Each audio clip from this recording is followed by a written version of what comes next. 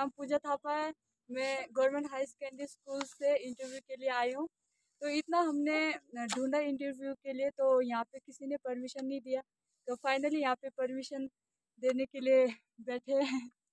और यहाँ पे विप्रो का प्रोग्राम और क्वेश्चन वंश पूछेगा इससे आगे। नमस्कार मेरा नाम वंश है।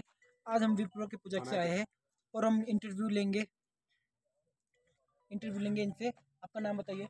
सनम दोजे नोनोले अच्छा मेरा पहला पहला सवाल ये उठता है कि पहले आप अपनी फैमिली से कैसे लोसर मनाते थे? फैमिली में पहले तो बहुत मज़ा आता था। पहले अपने साथ में एक फैमिली बहुत होते थे बहुत सारे रिश्तेदार आते थे लेकिन आजकल कोई भी नहीं है अकेले है दूर दूर जाते हैं बच्चे लोग। पहले के जैसे नहीं है आजकल। ठीक है। और मेरा दूसरा सवाल ये है कि पहले के लोसर में और आज आजकल के लोसर में आपको कुछ फ़र्क नज़र आता है?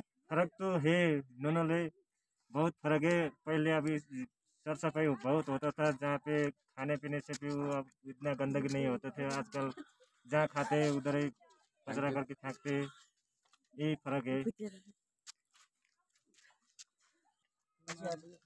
अब मैं इनसे धन्यवाद चाहता हूँ। इतना बताने के लिए आपका धन्यवाद। ज़िले आप सबको भी मेरा धन्यवाद।